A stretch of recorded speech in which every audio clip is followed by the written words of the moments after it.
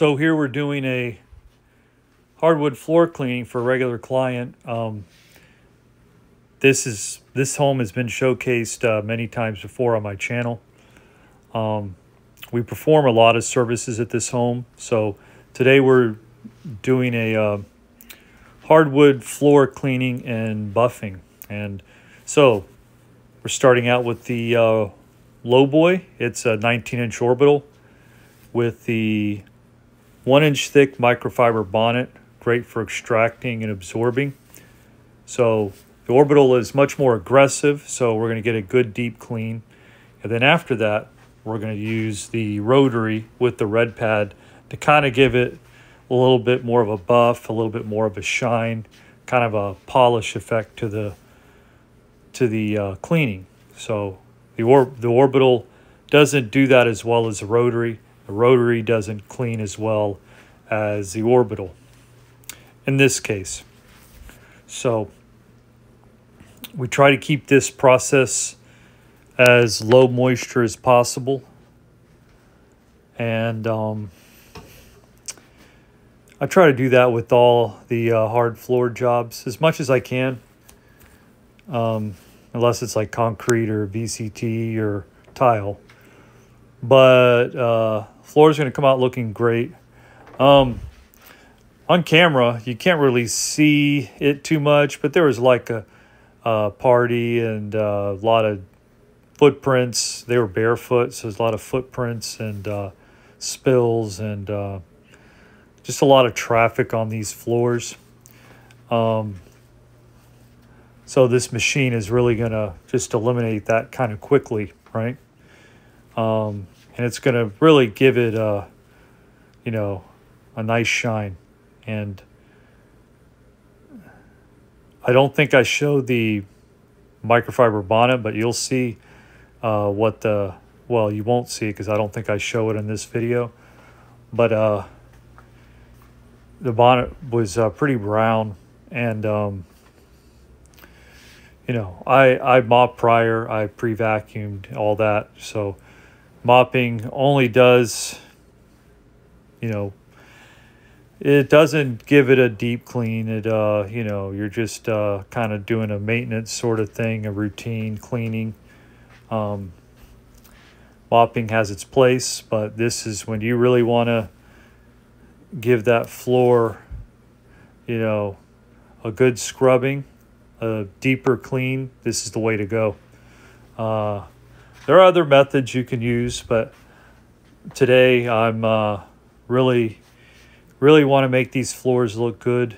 Um, you know, they're having company and all that, and I really want to make them look nice. So here we, we just, we added the rotary. My van's parked in the garage, so I have easy access to uh, uh, all these machines. And this is a 17 inch rotary machine made by Koblenz.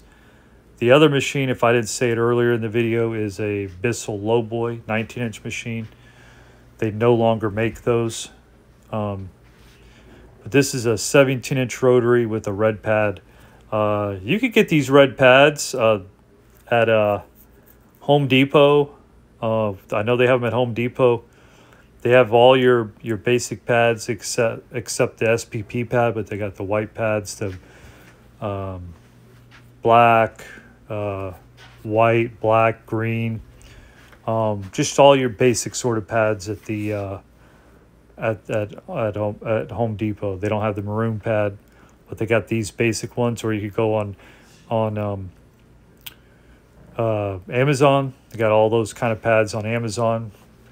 Um, and you could uh, get the bonnet. I think the bonnet's actually from Direct Mop Sales. I get most of my bonnets from Direct Mop Sales. Matter of fact, I think I get almost all of them from Direct Mop Sales. And then I have uh, some from Bonnet Pro as well. Um, but, you know, since I run the Orbital, and I do different types of cleanings. I like to have a lot of different types of pads. Um, so here, very easy, making very easy work, very, uh, very um, relaxing, just swinging back and forth. And the rotary is uh, just a nice machine to operate. Uh, the Bissell Lowboy, very easy on hard floor to run also. This is easier, but the Lowboy, like on wood, much, it takes a little bit more muscle, but, but, um, very easy. Anybody can do it. And of course I could have did used the order Oreck and, uh, but that would have taken longer because Bissell 19 inches wheels up machine so easy to maneuver covers a lot of floor space so we got done with that portion of the cleaning very quickly. So could have used the white pad um, but I decided to go with this one. Um, this one here I like how it uh I like using I use the white pad usually but on a job uh, not too long ago, I really liked the results with the red pad. When I didn't have uh, the white pad on me, I had it in my other van. So, um, yeah, I just didn't have them on me. You just I ha- you usually have to I have to pack two vans sometimes. Um, my wife might drive the other one. Uh, so I didn't have it, and I'm by myself here. Uh, but but um, the red pad will suffice. I'll, I'll just say that. Uh, so making easy work. I use neutral products both both times. I went over the floors with a neutral product. You could technically go over this dry with a white polish pad or this pad. I could have done that, but I went missed it a little bit of uh, neutral cleaner. I used the Odoban neutral floor cleaner.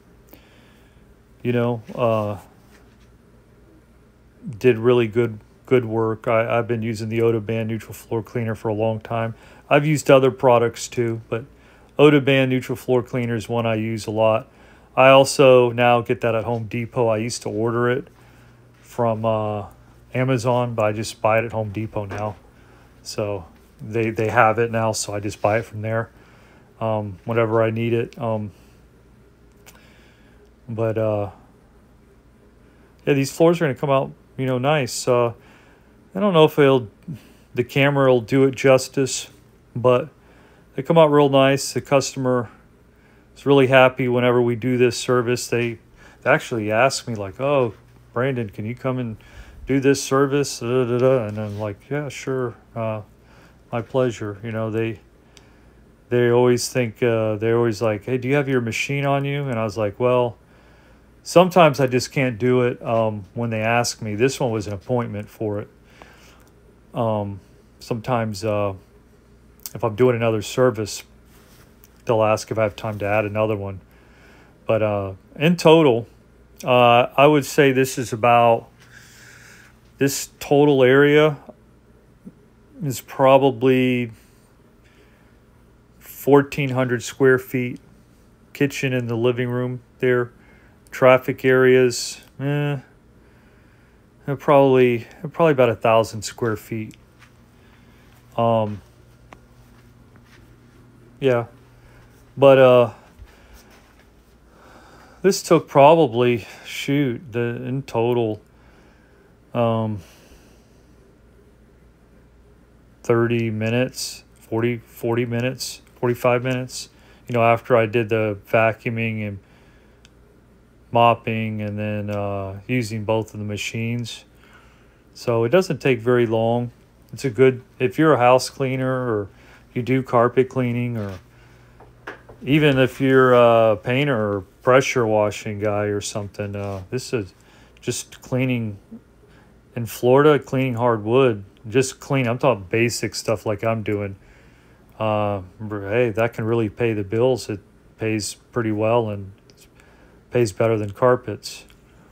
Um, the more extensive stuff, the um, pays even better. So it's good to uh, to uh, expand your horizons, you know, and learn new things because um, they. I've seen people that that uh, shoot that do those um, more extensive more comprehensive uh, type uh, floor work, you know, they're getting paid, uh, you know, really well also. And um, takes a little more time, a little more risk, sometimes a lot more risk, but you know, you got to start somewhere. Something like this, anybody can do. Anybody can start doing this. You can just get an Oreck or a small machine or a machine like this and just practice. And uh, it's very easy, very easy steps. Just get used to running the machine, knowing how much solution to put on, what kind of solution, just very easy. You can learn it. And uh, if you were with me, I could show you like uh, in five minutes. You know, it's that easy. So keep that in mind that these services um, anybody can do, but you know, people that tend to buy these uh, kind of services, they don't want to spend the time to do this, and they don't want to lug around, uh, you know, uh, heavy machinery and rent it from Home Depot and all that, and try to do this themselves. You know, they don't have time for it, and that's where we come in. You know, we have time and But anyways, this job is going pretty well. Uh,